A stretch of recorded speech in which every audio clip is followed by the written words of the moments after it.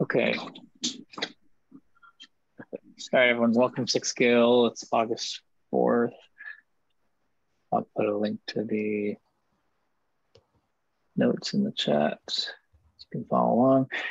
Okay, and uh, please add yourself as an attendee, please. For the record. Okay, all right, let's get started. Um, Alay, you've got the first item. Why don't kick us off?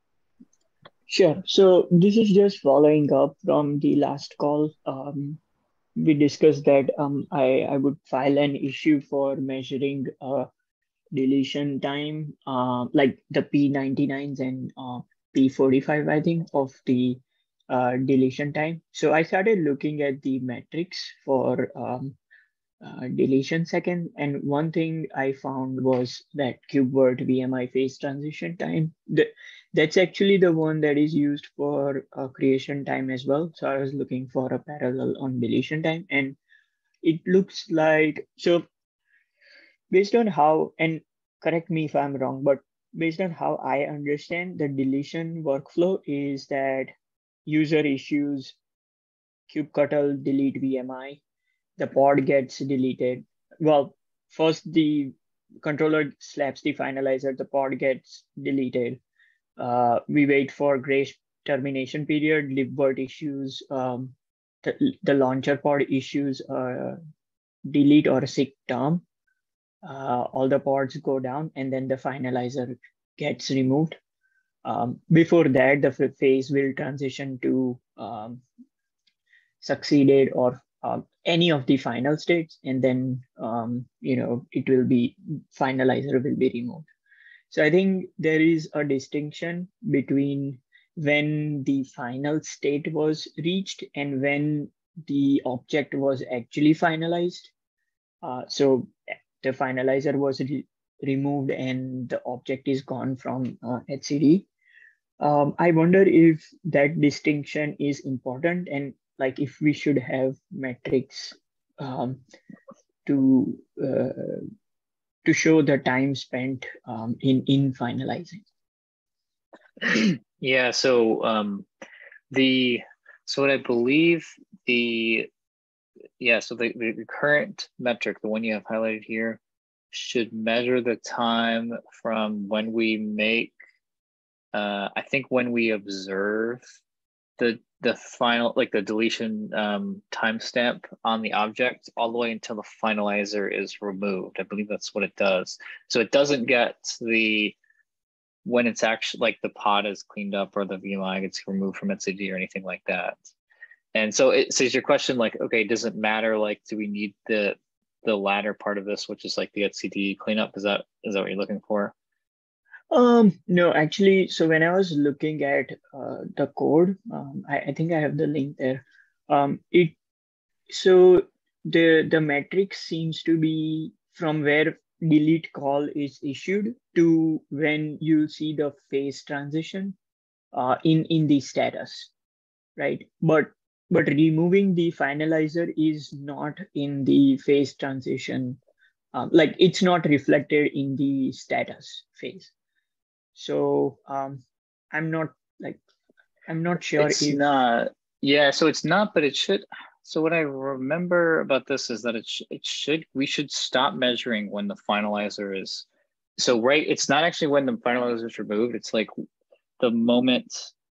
It's not when it's it's like right before it's removed. It's like where we should be measuring.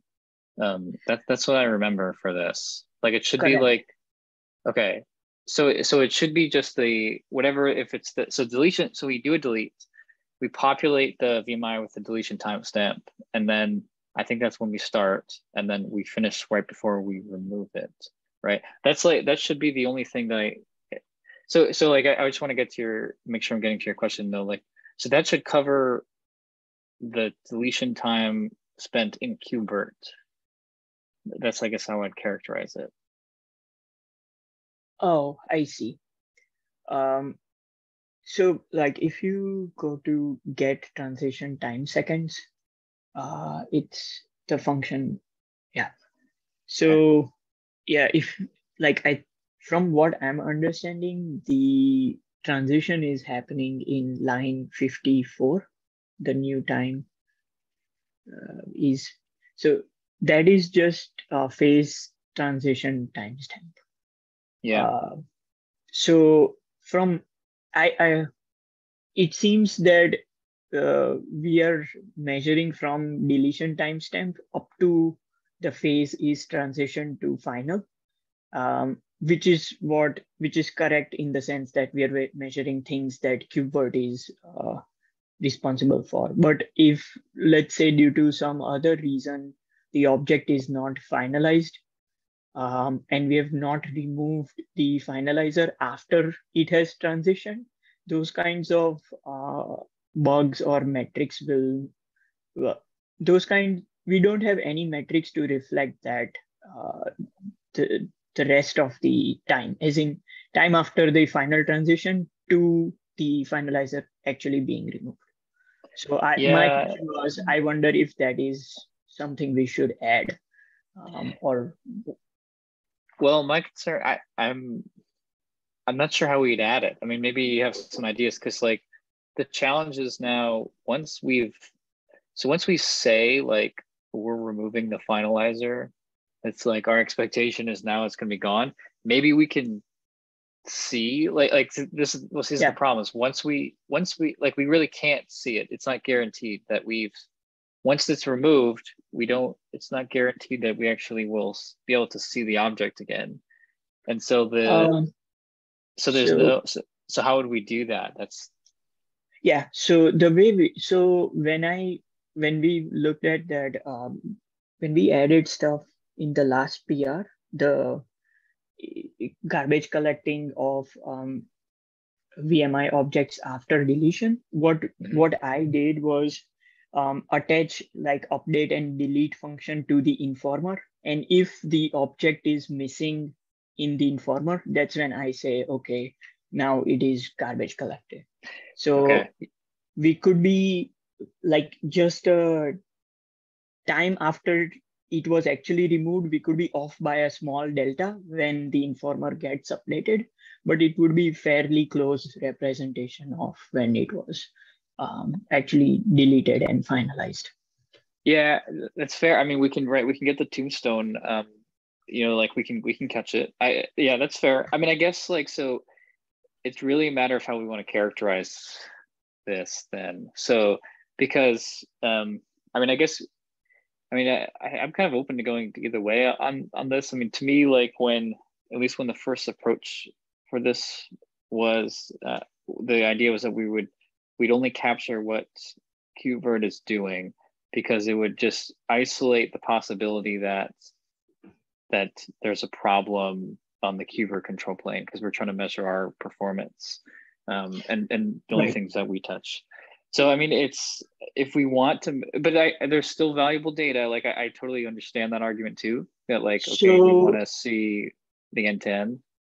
Right, and I think um, with that data, so um, I remember like couple of uh, bugs that we ran into due to um, the launcher pod that maintains the uh, state on on the pod in kubelet and then that being reflected in the um, in the controller through the in, through the custom informer um, mm-hmm. i think the bugs were that um, a lot of time is being spent after going into the final state and before being actually finalized you remember that one of the first bugs that i actually um, looked into so it feels like if we add that time, those kinds of bugs would be easy to get. I, I realize those are like very rare bugs, and um, but at the same time, uh, those are hard ones to um, go after, and having all these kinds of data points would be useful.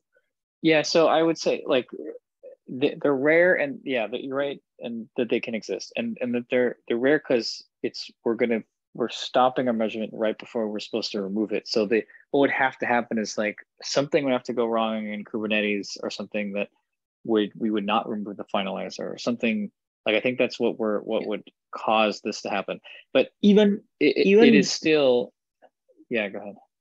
Even even something could go wrong in our our logic, right? Like KubeVirt logic, because after that final transition, KubeVirt does do some work uh, to actually go ahead and finalize it. So it needs to clean up the links on in the directory in the launcher pod and uh, stuff like that. Um, but yeah, yeah. I, am open. I just wanted to bring this up. If if this is worth adding, I can create an issue and uh, go after.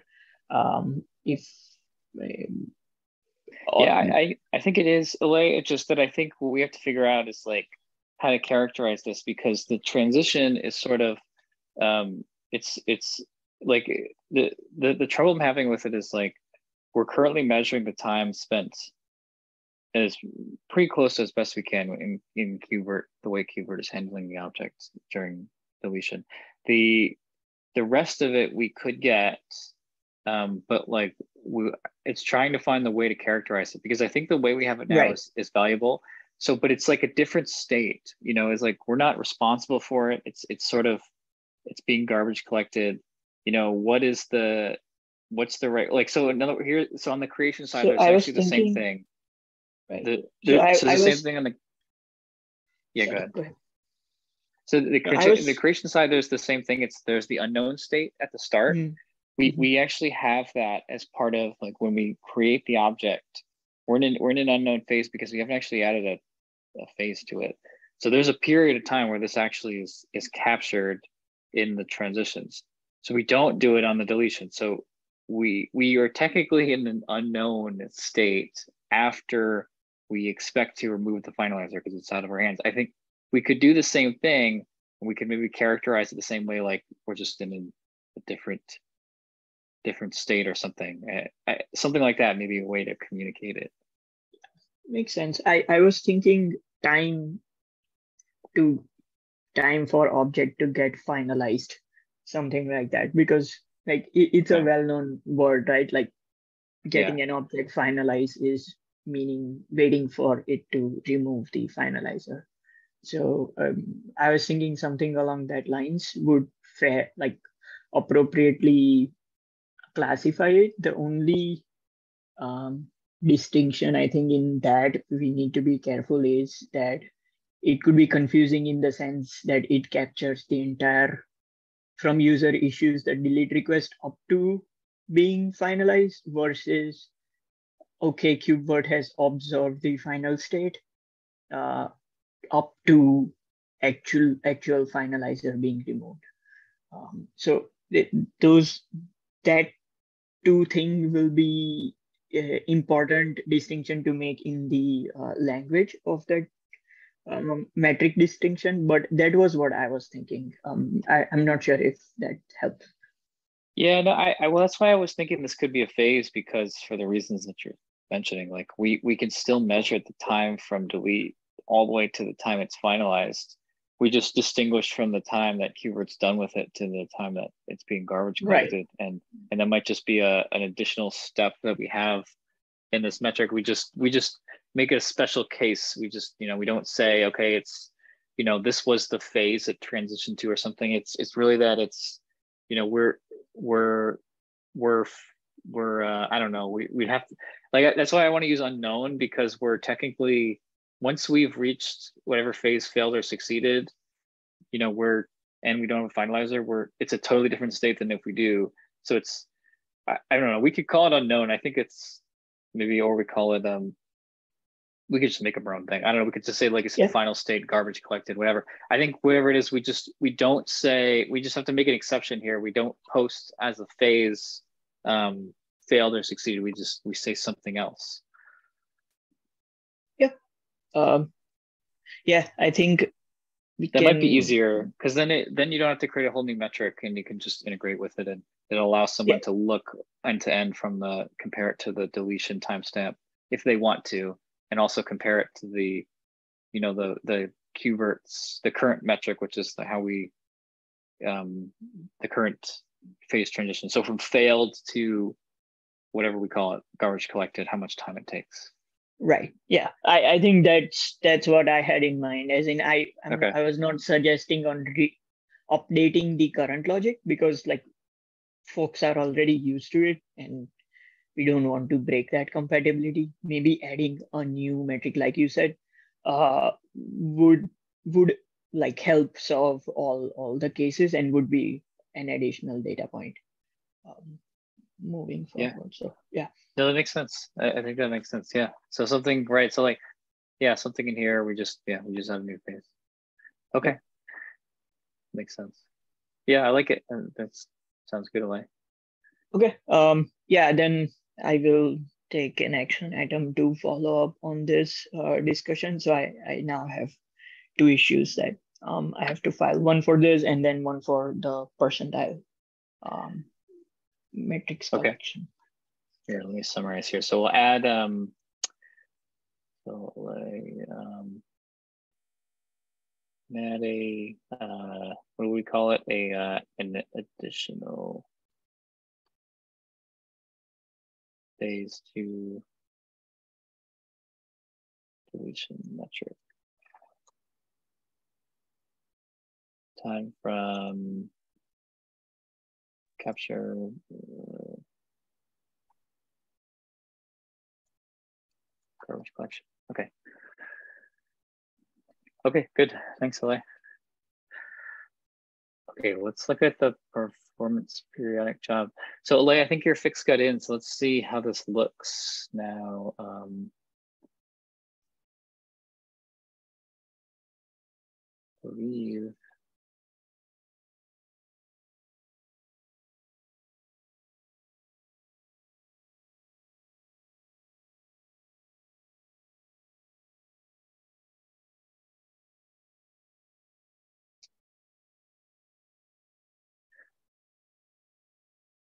believe it's this one. Let's see.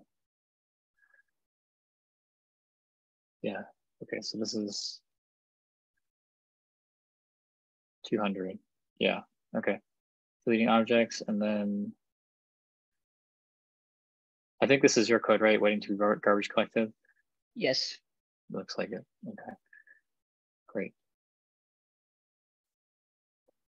Looks good. And then we have our metrics on the end of it. Okay. Okay, this is cool. All right, we're gonna have to start looking at um, thresholds for these. This is interesting. So this job is doing, I think we've just settled on 200. Um, let me check the, looks like it's just 200. Let's see. So it's, um,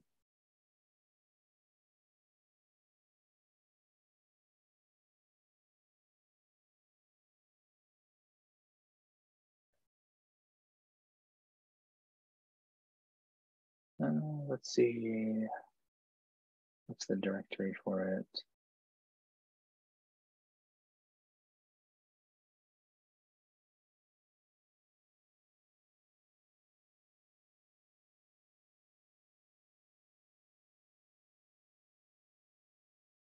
Okay, I don't remember. Somewhere in here, there's the. Uh, I'll have to look. I'll have to look it up after or something.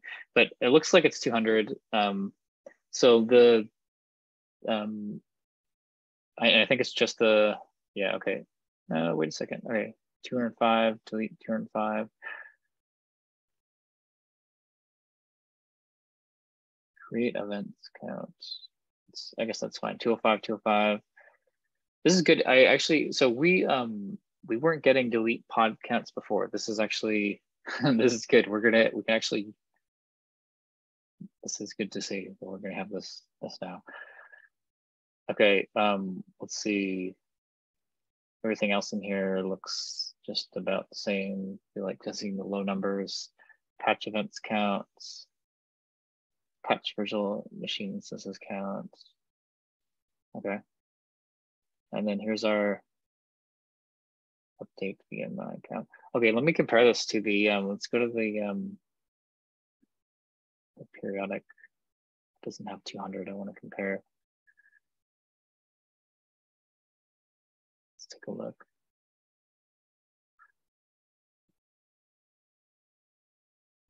So this is the 100.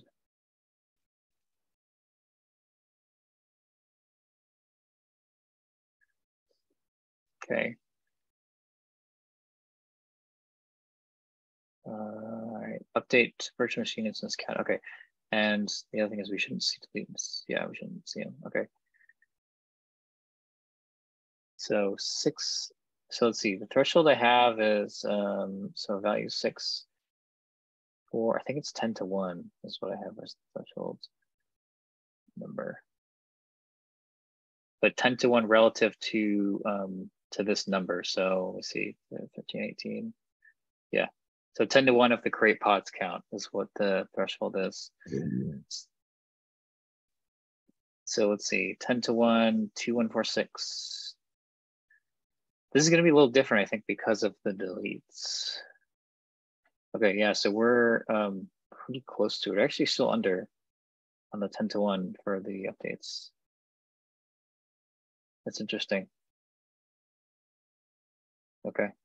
Maybe we're gonna have to look at it a different threshold now that we we're processing the deletes in here. I think we Maybe just just higher. crossed, right? Like 10 to 1. Did I do my math wrong? 2021. Be 205 decimal Two. points on the. Yeah. We're off by 150 it, or something. It'd be close. Yeah, it'll be close. So yeah, it's it's that's very close. I, I think it's just the um, I think it's just the I mean this is the same code, so it shouldn't it shouldn't vary much. So I think it's just the deletes that's what's causing this. But I think we'll need to um, deal with this one is we'll need to evaluate how we can um, set the threshold so that we can also pick up deletes in here. So maybe it needs to be higher. Okay, something we can consider. Um, yeah, I, can you can you give a little bit more context on uh, why? Like, I'm I'm not following on why the delete counts would would make that th threshold go higher.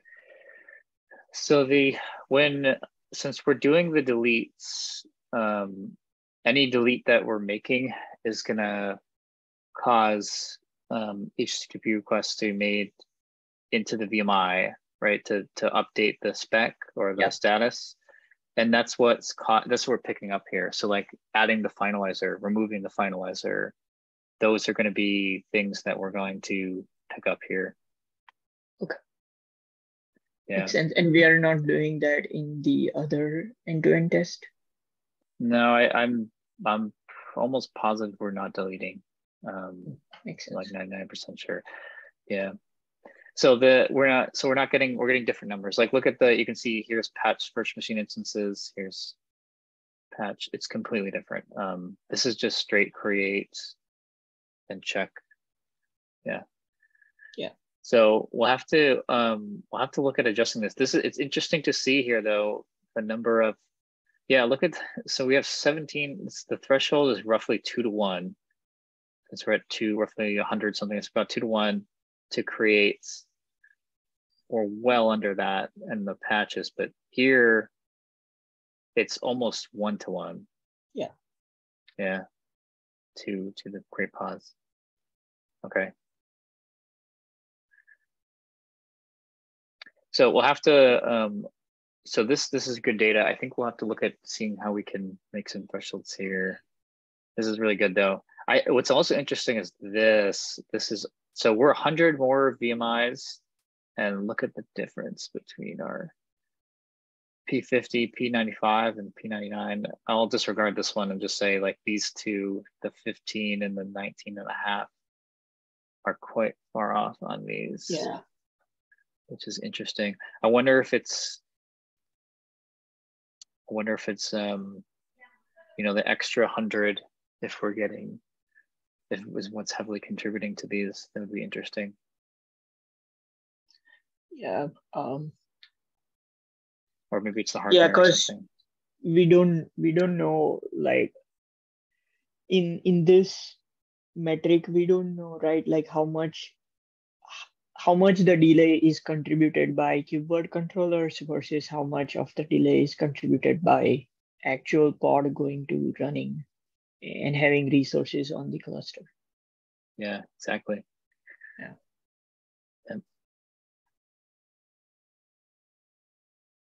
Okay.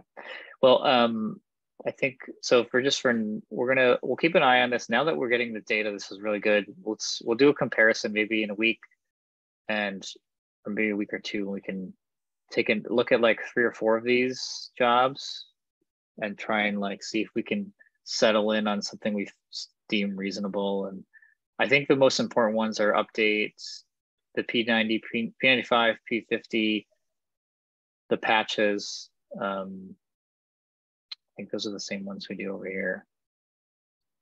So yeah. um, I I had a question regarding that. Um, so these is there a way we could get this, these numbers without like scraping the Prow CI UI? Like where, where do these numbers uh, come from? Is is that like a Prom server um, that's running somewhere? Yeah, so it's it's in it's from Prometheus. Um, this is so this what this is is a um, it's the the uh, perfscale audit tool. I can I can show you. It's um, and all it does is it points at the um,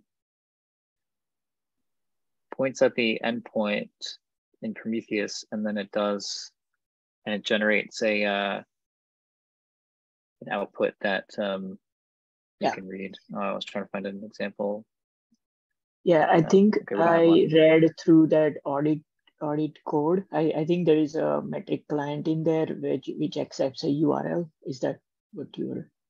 Yeah, that's right. So you you just pointed yeah you give it a URL. You pointed at the um, um the Prometheus instance, and it will scrape for you over. You can give it a period of time, um, and then it'll do the rest for you it'll sort of generate in, in, in this way. So I was wondering, like for the other issue um, where I need to look at the deletion deletion time, um, mm-hmm. I was wondering if I can get the URL for um, uh, for that prom instance. So maybe I can run some queries uh, before putting it in in the code. Um, yeah, let me sure. Let me see if I can find. Um, well, so what I would, the easiest thing for you to do is to do it locally with make cluster up. You can just add the Prometheus instance to your, uh, I think it's just a flag, like you just set it to true and then it'll deploy it. And then you should be able to port forward it locally and then, and then you can okay. run the tool against it. That's, that would be the easiest way to do this. So you don't have okay. to go through the, the CI. Sounds good. Okay. Alrighty, we'll do some, we'll do a follow look at this and see if we can get some thresholds. This is good to see now. Um, now that we're getting some more data, we'll have to continue to look at these and see if we can settle in on a threshold for some of these. Okay. Um, oh, actually, let me see. Is there one more? I forget if there's um. So cluster performance. We've got the hundred density. Okay, so here's the density. Okay, let's look at this one. This is the same test. It's just 100. The other one's 200. Okay, that makes sense. Let's see. Let's look at this. Let's see. Let's do a comparison of um, of these two, and let's look at the P95 and the P50, and let's see how they come out.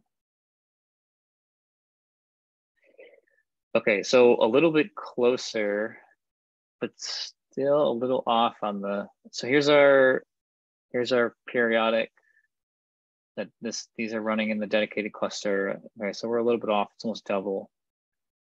But how close is it to these?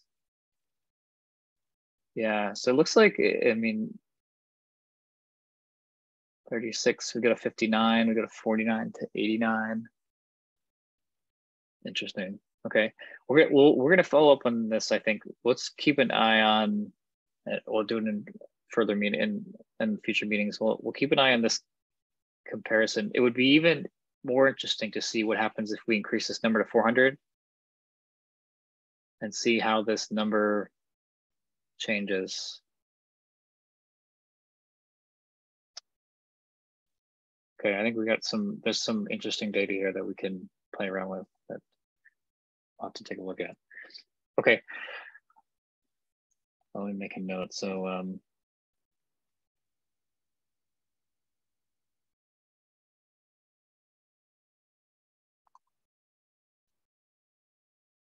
And let's do some generate fish.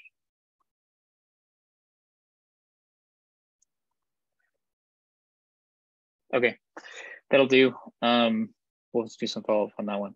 All right, let's go to the um, the libvirt-go uh, memory leak. So I saw this one in uh, Federico, if you're still here.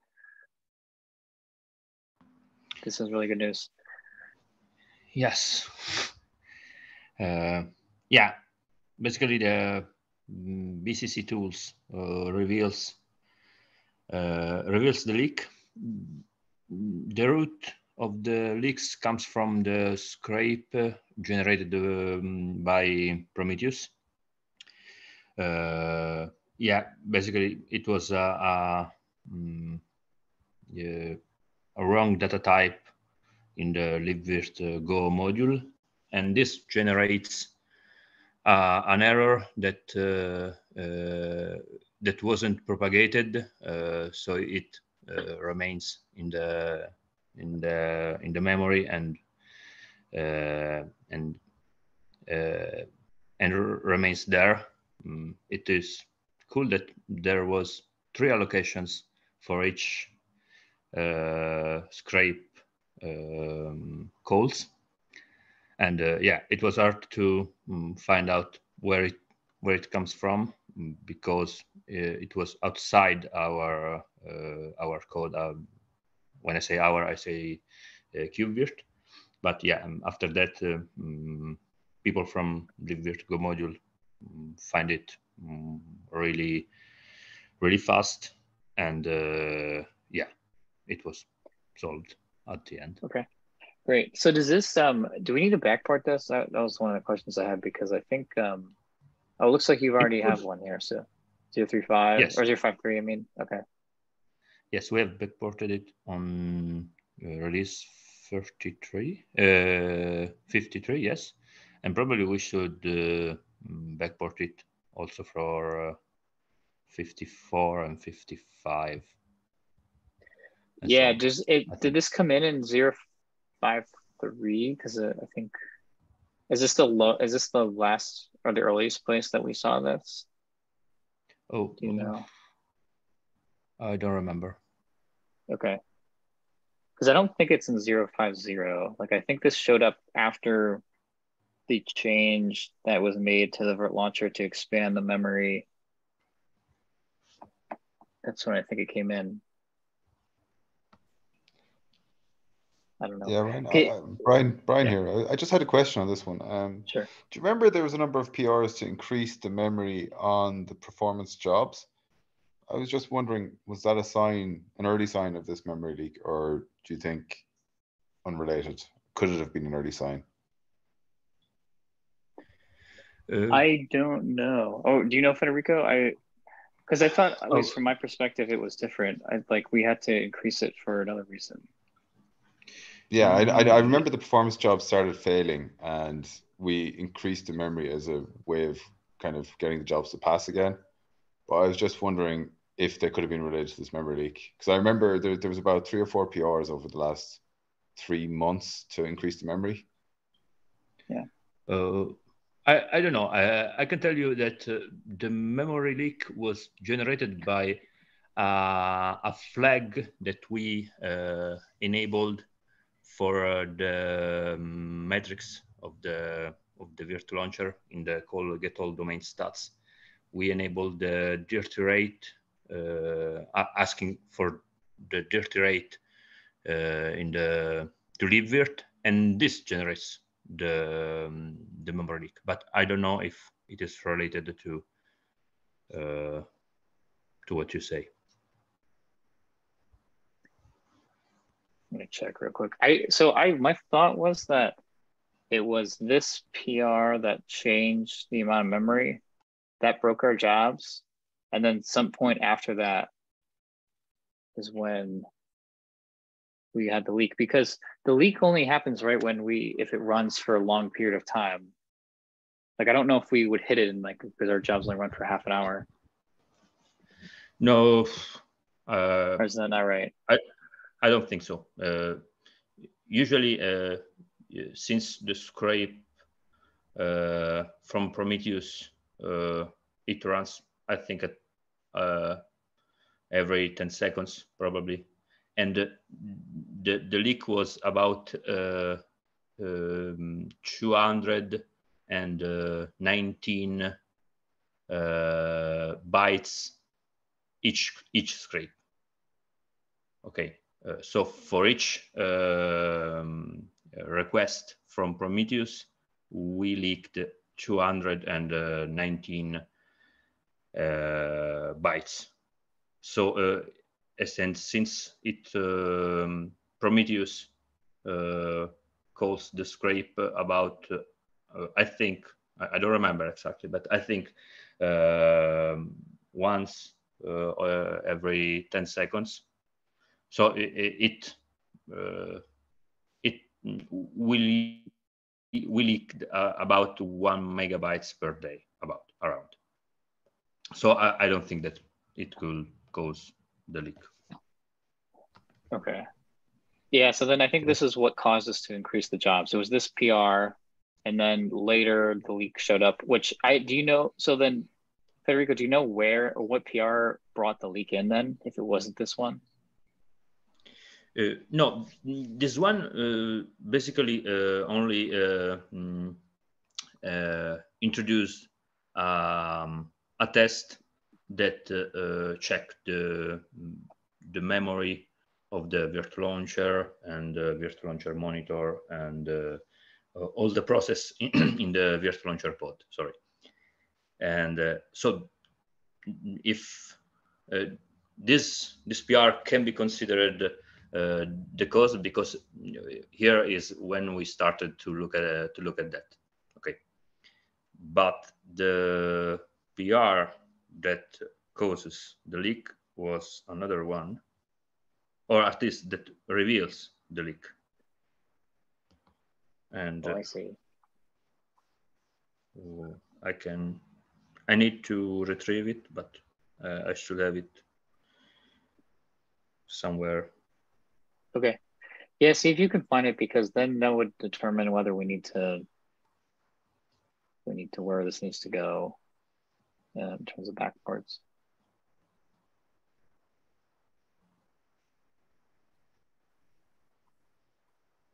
Okay.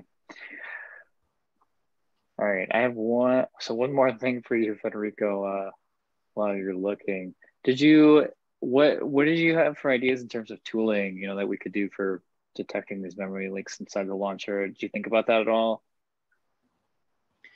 Uh, sorry, uh, I was concentrated uh, searching the, the, the PR. Uh, if I understand correctly, um, you're asking about the other BPF tool? Yeah. Okay, uh, so basically the, the BPF tool that uh, we use is BCC, but, but uh, BCC mm, memory leak, uh, but we uh, don't. Okay, there is a way to install it directly inside the virtual launcher pod, but it requires a lot of stuff. Okay, so uh, what we have done is to install the uh, Uh, these tools directly on the node and uh, search for uh, and uh, attach it on the on the process, the on the virtual launcher process. So uh, we can uh, install it inside the the virtual launcher pod, but I think that the pod will increase on the on the requested memory. And uh, I don't know if it is good or great? Yeah, well, so what I was thinking is, I mean, I wouldn't expect to have to use the tooling for much, like unless we were knew there was a memory leak or if we wanted to investigate it. It's mostly like, like so. I would expect is that there would be a virt launcher images like that's produced today, but we could also do is we could have. I mean, it could be a separate build, um, and it, maybe it's maybe it's shipped with releases, maybe it's not. Maybe it's just something that that you could build if you want, like just through the like make Bazel build or something. Like the idea is that maybe we could have a way to include the package in there just so that you don't have to do all the things that that you just went through to have to diagnose this. Yeah, yeah. Just have it in the, in the in the launcher image. Yes, mm, it it can be uh, done. It's not mm, it, it's not quite easy uh, because mm, there are uh, other mm, there are things to do, uh, such as install the kernel modules uh, and uh, some other stuff. But yes, it can be can be can be done absolutely. I think that Does it we need- should. Do you need any Yes, special sorry, privileges though? So, sorry, I thought you're done. Uh, did you need any Uh, special privileges like to, to want to run it, or Yes, it like yes, you do? yes. Okay. You need to uh, capability sysadmin Okay. uh, or at, or uh, run the uh, the pod directly with the with the root privileges. So yeah, it uh, you need this uh, that capabilities, or at least it it depends on which kernel uh, version are you using because uh, BPF uh, for kernel for a re- more more recent version uh, has uh, specific capabilities for uh, itself. But yeah, I think that's So Okay. yeah, um, I I wonder if we it would be beneficial to run like have this in as a totally separate image regardless of uh, the the the launcher image. So like debug tools image and then attach debug tools as a sidecar container to the virt launcher pod whenever whenever virt launcher is not behaving properly or as expected we can attach the uh, sidecar and then Uh, launch the process on launch the debug tool process on on the word launch process. I wonder if that it, would still include all the pain that federico is talking about in terms of getting getting it to run as a container but i wonder if that will keep virt launcher and the debug tools images totally separate that way we can do an on demand debug Oh, uh, if you have a separate container, uh, I don't know if you can go uh, inside another container and uh, uh, debug it, such as root with root privileges. Or so maybe uh, what we can do is, or to have a, a tools that will, that will be installed directly on the node, or uh, at least we can uh, uh, create uh, two version of uh, Virtual Launcher uh, with this, I don't know, for example, uh, separate tags. One is Devel, that is the standard one, and one for the bug tool. And yeah, build the two different images with the first one with the current the status quo of the of the virtual launcher.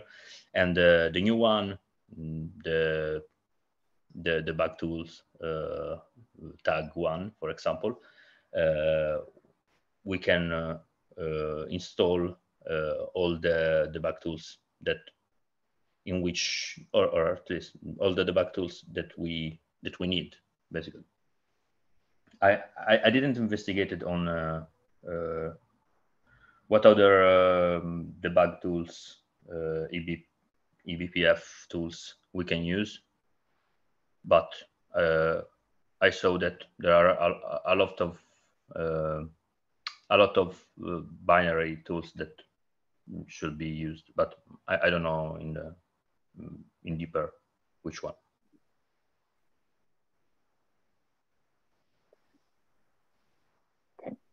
Yeah, I mean, I think Alay, your idea maybe it could work. I mean, we, it's just a matter of like whether we have the right capabilities to do it, the sidecar, because we should be able to Yeah. access the processes that we need. We should be able to get the information we need. It's just, you know, what else? What, what else would we need to change? I think both these things are. It sounds like they're both doable. Um, but I think in both cases we may need to do something with with the caps and to to make it work. So and then and then both of them would have to have some sort of like build pipeline or something associated with them, since they'd be their own images. Yeah. Okay. So I um I had a question as in was that sysadmin required to execute those uh, BCC tools or required to install the, the BCC tools? So I, I could be wrong here, but from my understanding, the eBPF tools run in user uh, user space in, in the Linux kernel.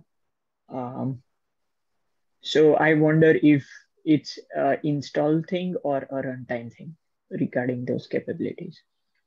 Yeah, it's a it's a runtime thing. Okay. Okay. Thanks. No worries. Okay. Well, I think it's something we can think about. Um, this is definitely something we could look to improve on. Because I mean, I think like you know, you have we have like some metrics for um, for this stuff. I'm just trying to think of other ways we could um, other ways we can make this process easier, or other ways we can detect this and and we do our performance analysis. All right, I think that's this is this is good. Okay, um, uh, I don't have any more agenda items. Do people have anything else to bring up?